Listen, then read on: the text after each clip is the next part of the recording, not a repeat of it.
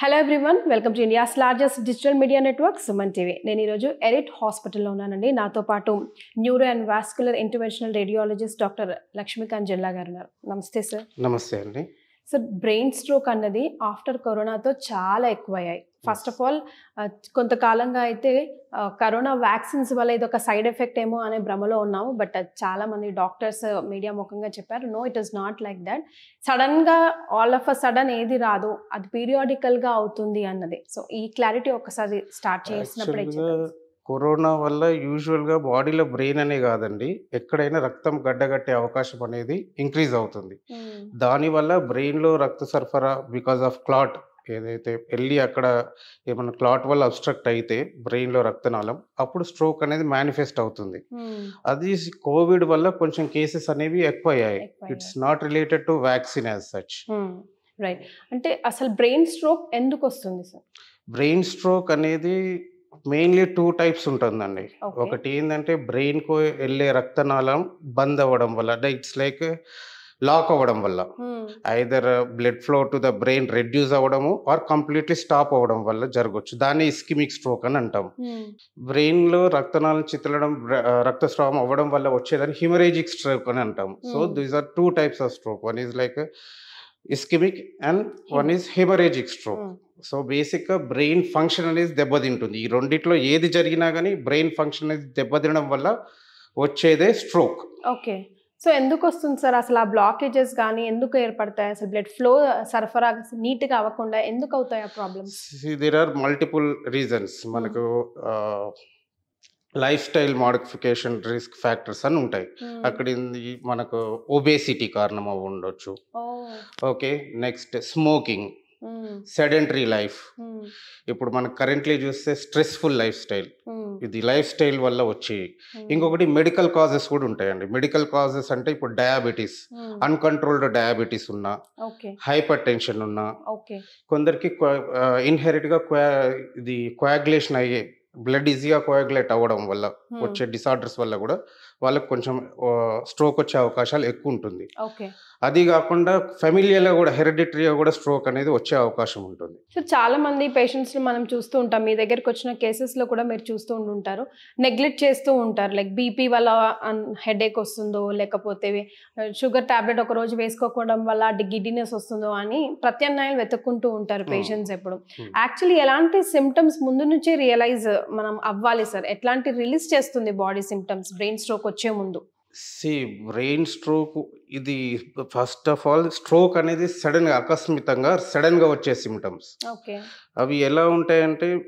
Leg hand are leg బరువు ఎక్కడము weakness మాట తడబడము అ- అలా అలా ఉంటాయి మేజర్గా ఓకే. కొందరికి ఏంటంటే మైనర్గా హెడ్ ఏక్ కూడా ఉండొచ్చు.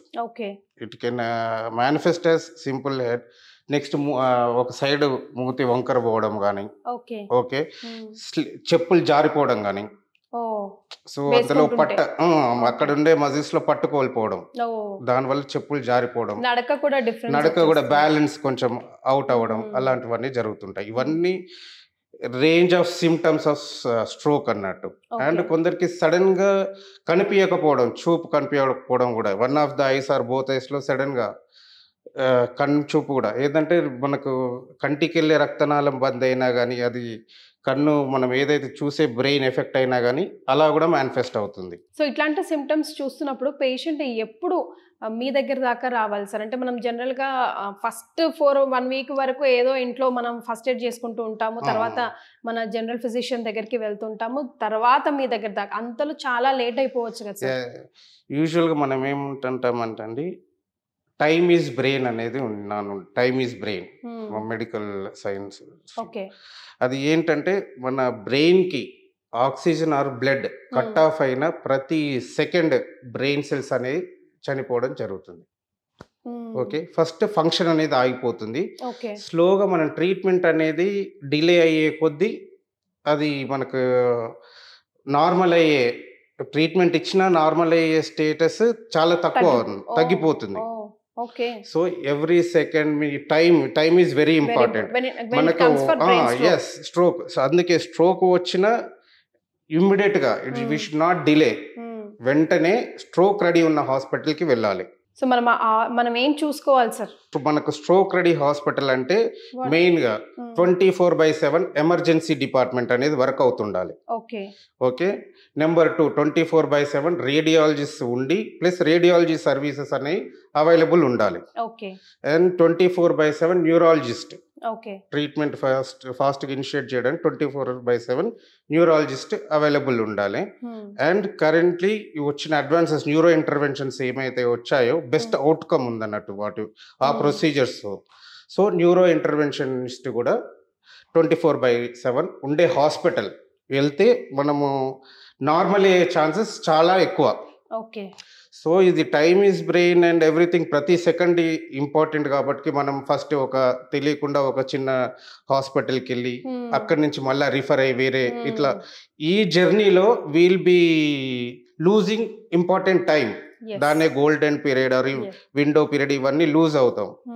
అంటే సార్ మేజర్గా బ్రెయిన్ స్ట్రోక్ వచ్చిన వాళ్ళకి ఏం ఎఫెక్ట్ అవుతుంది? బాడీలో ఏ పార్ట్ ఎఫెక్ట్ అవుతుంది? నేను ఒక కేసు చూసాను సార్ లైక్ మేజర్గా వచ్చినప్పటికీ కూడా నెక్స్ట్ డే వాళ్ళ హాస్పిటల్కి అయినా షీజ్ ఓకే నౌ ఫస్ట్ కంటి చూపు సరిగా కనిపించట్లేదు బ్లాంక్ బ్లాంక్గా ఉందని. అంటే మనం స్పూన్ కూడా ఒక చోట ఇస్తే ఇంకో చోట పట్టుకోవడం లాంటి పొజిషన్ నుంచి. After two months might be she's normal no but చేతులు ఇంకా తిమ్మిరెక్కుతున్నట్టు కొంచెం హెడ్గా ఉన్నట్టు ఉంటుంది. విచ్ కేస్ అంటే తన మేజర్లో ఉందా మైనర్లో ఉందా మనం ఎట్లా దాన్ని ముందుకు తీసుకెళ్ళాలి? ఆ పేషెంట్ని సడన్గా ఇవి వచ్చే సిమ్టమ్స్ మైనర్ మైనర్వి అని చెప్పేసి ఏది కూడా నెగ్లెక్ట్ చేయొద్దండి. Minor strokes or like warning symptoms ఇవి మేజర్కి కన్వర్ట్ అయ్యే ఛాన్సెస్ ఉంటాయి. యాజ్ ఎర్లీ యాజ్ పాసిబుల్ మనం డాక్టర్ దగ్గరికి వెళ్తే మేజర్కి కన్వర్ట్ కాకముందుకే మనం ట్రీట్మెంట్ తీసుకుంటే better.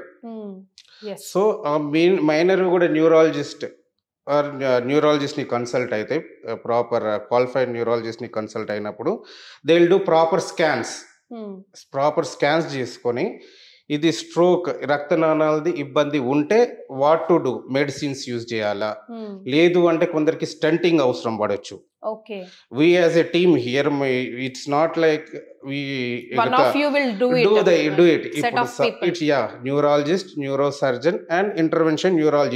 will uh, combinedly sit and discuss what is best medical management medicine వేస్తే బెటరా ఒక patient కి లేదు వెళ్ళి స్టెంట్ వేస్తే బెటరా లేదు సర్జరీ చేస్తే బెటరా అనేది వీ డిసైడ్ అన్నట్టు సో ఏ ఏ కేసెస్లో అయినా ఇప్పటివరకు మీరు డీల్ చేసిన ఏదైనా పెక్యులర్ కేసు మా ప్రేక్షకులతో షేర్ చేసుకుంటారా? వేరే మీరు సజెస్ట్ చేయవచ్చు బట్ వాళ్ళు అఫోర్డ్ చేయకపోవడమో కానివ్వండి లేకపోతే మాకు మెడిసిన్స్ ఈ రోజుల్లో వీడియోస్ చూసేసాన్ని చూసి ట్రీట్మెంట్ కూడా పలానా మాకు చేసేయండి అని చెప్పి వచ్చే పేషెంట్స్ని కూడా మీరు చూస్తూ ఉంటుంటారు సో వాళ్ళని ఎట్లా డీల్ చేయాలి? ఎట్లా డీల్ చేస్తారు ఇన్ఫ్యాక్ట్ ఇప్పుడు ఏంటంటే స్టెంటింగ్ ఆర్ ఎవ్రీ అవన్నీ ఇప్పుడు పెద్ద సర్జరీ లెక్క కదా. యాంజియోగ్రఫీ ద్వారా చేసేవన్నీ కుట్టు కోత లేకుండా చేయడమే అన్నట్టు. జస్ట్ ఒక టూ ఎంఎం నిడిల్ పంక్చర్. అది గ్రాయిన్లో కానీ చేతిలో కానీ వేసి మేము డివైజెస్ని తీసుకెళ్ళడం ద్వారా జరుగుతుంది. అది వెరీ మినిమల్. దీనివల్ల ఏంటంటే పేషెంట్ సమ్ పేషెంట్స్ మనం నెక్స్ట్ డే వాకింగ్ అవన్నీ పెద్ద కొన్ని డే కేర్లో చేసే ప్రొసీజర్స్ ఉంటాయి ఇంటర్వెన్షన్. పద్ధతిలో. So there are the very least minimal కొన్ని విధ ఇఫ్ మెడికల్గానే బెటర్ అనిపిస్తే మెడికల్ అడ్వైస్ చేస్తాం. If intervention if it is. Beneficial and required then only we'll advise we'll we'll give options and we'll tell them we'll guide them what is better for them at last that decision and everything goes to patient and patient attendants. వాళ్ళు ఏం decide అవుతే అది. సరే అసలు interventional radiology అంటే ఏంటి? అది బాడీలో దేని దేనికి ఉపయోగపడుతుంది? ఇంటర్వెన్షన్ రేడియాలజీ అనేది కరెంట్గా యూజువల్ చిన్న కుట్టు కోత లేకుండా బాడీలో చిన్న ఎంట్రీ ఒక టూ ఎంఎం ఐదర్ తొడల నుంచి కానీ చేతిలో నుంచి కానీ బాడీ న్యాచురల్ పాత్వేస్ బ్లడ్ వెజల్స్కి పాత్వేస్ ఏవైతే ఉన్నాయో అవి యూజ్ చేసుకొని డిస్టెన్స్గా critical ఏరియాస్లోకి either brain or any organ liver అనుకోండి బ్రెయిన్ అనుకోండి కిడ్నీ ఏదన్నా రక్తనాళాల ఇష్యూని ట్రీట్ చేయొచ్చు అన్నట్టు. That is very minimal we invasive and కుట్టు కోత ఉండదు. So patient can walk post procedure day care పద్ధతిలో చేయొచ్చు. అండ్ హాస్పిటల్ స్టే అనేది కూడా తగ్గుతుంది. అండ్ కాంప్లికేషన్స్ అనేవి కూడా చాలా తక్కువ. సార్ మనం ఇప్పటివరకు బ్రెయిన్కి సంబంధించే మాట్లాడుకున్నాం కదా ఇంకా ఏ లైక్ టీబీకి కూడా ఇంటర్వెన్షనల్ రేడియాలజీ యూజ్ అవుతుందని ఇందాక మీరు మాటల్లో చెప్పారు. సో ఇంకా దేని దేని ట్రీట్మెంట్స్కి ఇది యూజ్ అవుతుందంటారు? ఇప్పుడు పల్మనాలజీ నాట్ ఓన్లీ న్యూరో అండి it is intervention radiology it sits in between all the departments okay. Okay ప్రతి డిపార్ట్మెంట్లో like hepatobiliary gastro gynaecology pulmonology వీటి అన్ని డిపార్ట్మెంట్స్లో ఇంటర్వెన్షన్ రేడియాలజీ యూజ్ ఉంటుందండి. ఓకే. సో అంటే రేడియాలజిస్ట్. లైక్ ఇప్పుడు పల్మనాలజీకి తీసి సైడ్ వెళ్ళామనుకోండి ఇప్పుడు టీబీ ఆర్ సమ్ క్యాన్సర్ వల్ల దగ్గడం వల్ల మనకు దగ్గులో రక్తం అనేది పడుతుంది.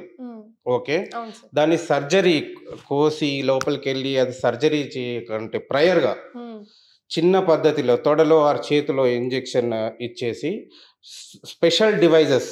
ఏదైతే బ్లీడ్ అవుతుందో ఆ బ్లడ్ వెజల్స్ సెలెక్టివ్గా వెళ్ళి దాన్ని బ్లాక్ చేయడం వల్ల ఆ రక్తం పడడం అనేది తగ్గుతుంది. Okay hundred percent. సో విన్నారు కదండి ప్రతి చిన్నదానికి భయపడద్దు అట్లా అని నెగ్లెక్ట్ కూడా చేయొద్దు because when it comes to brain stroke time is very important అని చెప్తున్నారు సార్. సో టైంకి మీరు వచ్చినట్టయితే బ్రహ్మాండమైన ట్రీట్మెంట్ అవైలబుల్లో ఉన్నాయి and brain stroke surgeon hospital అనగానే టెన్షన్ పడకుండా అన్ని కోతలతోనే కాదు చాలా సింపుల్ పద్ధతిలో కూడా మంచి మంచి ట్రీట్మెంట్స్ ఎరిట్ హాస్పిటల్లో అవైలబుల్లో ఉన్నాయని చెప్తున్నారు. Thank you so much for joining us sir thank you